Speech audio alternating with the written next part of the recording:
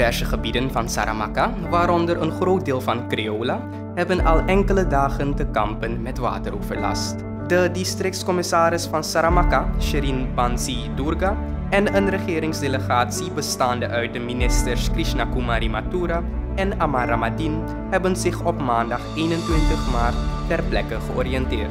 Er wordt gewerkt aan een noodoplossing voor het probleem. Intussen worden de getroffenen huishoudens bijgestaan om in hun dagelijkse behoeften te voorzien. Um, wat zijn uw constateringen geweest vandaag in het veld? Ja, laat me aangeven dat wij vanmorgen op de hoogte zijn gesteld uh, vanuit de regering dat er uh, um, hier sprake is van wateroverlast. Uh, door een te hoge waterstand van de rivier, maar ook door niet goed functionerende dammen. We zijn gevraagd door de president om ook een kijkje te nemen, maar ook interventies voor te stellen. Ehm, wij zijn geen technische ministers op het gebied van waterwerken. Maar we hebben de aandacht gegeven, we hebben de zaken geïdentificeerd. Er is een behoorlijk gebied hier te Criolla uh, onder water gelopen door een combinatie van een, een te hoge waterstand vanuit de aanvoer van Saramaka rivier, maar ook door slecht onderhoud van dammen jarenlang. Dat geven de, de bewoners ook zelf aan. Um, de beelden zijn duidelijk. er is bijna vrijwel alle huizen in het gebied zijn onder water. Mensen zijn uit zichzelf ook al vertrokken. Er zijn een paar mensen die overgebleven zijn, die um, ja, beheer hebben van de woning een beetje. Uh, maar het is geen gezonde situatie. Um, insect, dieren, ongedierte, die komen allemaal boven water. Um, kinderen zijn hier die ook nog uh, in water uh, terecht zijn gekomen.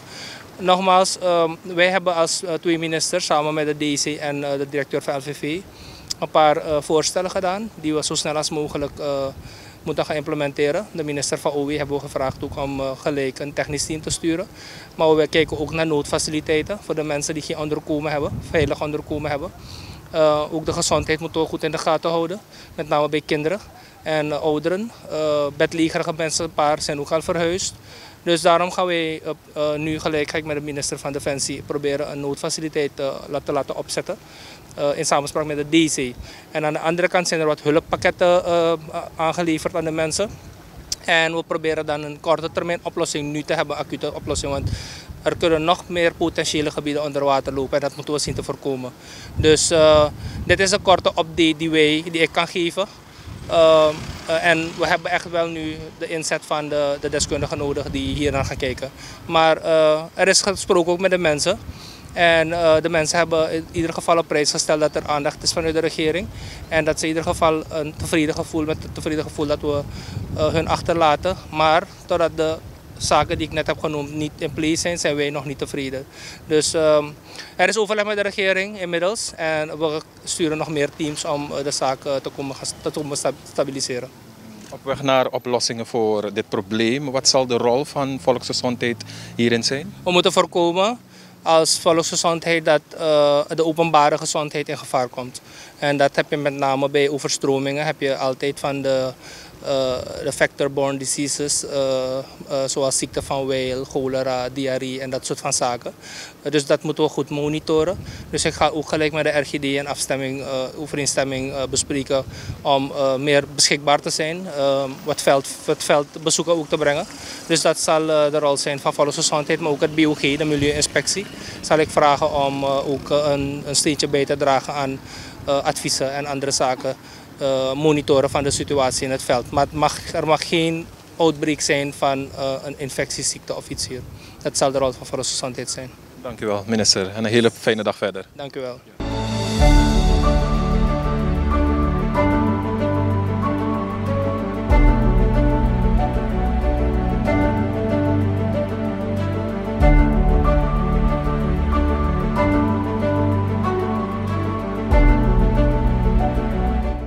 Rol van het ministerie van Defensie hierin zijn? Uh, ondersteunend. We hebben al gezegd van kijk, wat we moeten doen is voorbereiden, En zo snel mogelijk, zo goed mogelijk, zo veilig mogelijk die hulp bieden aan de mensen. Informatie geven, mensen voorbereiden ook. Dus er moet een hele goede communicatie ook op gang komen. Dus wat ons betreft, wij moeten ons nog beter voorbereiden op die ondersteuning naar breed de hele samenleving. We zetten maximaal in, ook hier nu NCCR, merendeel militairen die ingezet worden om noodhulppakketten te brengen. Maar dat moet nog meer versterkt worden. Want je ziet, dit is niet alleen een regionaal probleem of een, een districtsprobleem, dit is breed. Uh, binnenland, Sur, uh, hoe heet het weer, boven Suriname, Marowijnen, nu Saramaka. Dus het is een landelijk probleem aan het worden.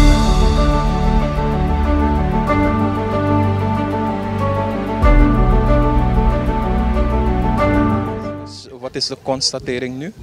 Sowieso um, gaat, gaan er nu um, naar oplossingsmogelijkheden be bekeken worden. Om toch nog mensen die nog vastzitten te evacueren. Er zijn al afspraken gemaakt met het NCCR om kampen op te zetten. Waar we de mensen dan tijdelijk uh, kunnen onderbrengen. Ook is er vanuit het NCCR al voedselpakketten gestuurd richting Criolla. Dat, dat is nu al, uh, dat zijn de mensen nu al aan het distribueren. Dus daarmee zijn we nu bezig. Situatieschets. Um, het is begonnen bij de sluisweg. Uh, de oriëntatie vandaag. Kunt u een beetje kort daarover vertellen? Ja, dus we zijn begonnen bij uh, de, het Wanika-kanaal. Daar hebben we de ministers een beetje verteld hoe het daar aan toe gaat bij, bij vloed. Hoe dat water binnendringt naar het woongebied. Daarna zijn we gekomen naar het Saramaka-kanaal. Daar hebben we de ministers gewezen het verschil tussen rivierstand in uh, waterstand in de rivier en waterstand in het kanaal. Waarbij je duidelijk kunt zien dat er een verschil is van zeker 2 meter hoog. Dat het water 2 meter hoger is dan het kanaal waardoor de sluisdeuren, de klappendeksels niet opengemaakt kunnen worden. Vandaar zijn we nu dan in het uh, woongebied Criola en met name de serie A en serie B waar de meeste gezinnen zijn getroffen en wel het zuidelijk deel van Criolla is getroffen. Waarom dit deel ook? Omdat de rivier buiten haar oevers is, maar niet alleen, maar ook het Panama-kanaal die direct in verbinding staat met de rivier. Dus beide zijn dan uh, buiten hun oevers.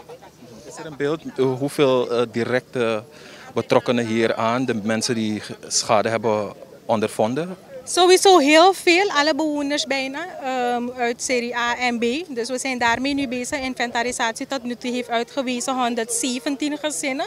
Maar er zijn natuurlijk meer, omdat het water vandaag veel hoger is dan gisteren en eergisteren.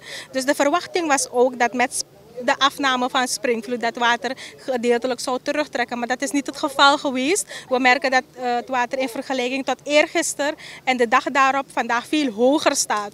Dus um, de voorspelling is dat het de komende twee weken zeg maar, precies zo aan toe zal gaan. Wat we ook hebben gedaan als noodvoorziening, we hebben e-, enkele extra lozingen um, gegraven waardoor het water in een ander afvoersysteem terechtkomt. Maar dat helpt ook niet. Dus het is allemaal invloeden vanuit de rivier waarbij bij vloedstand het water letterlijk hier over de straat stroomt, over de dammen heen in het woongebied.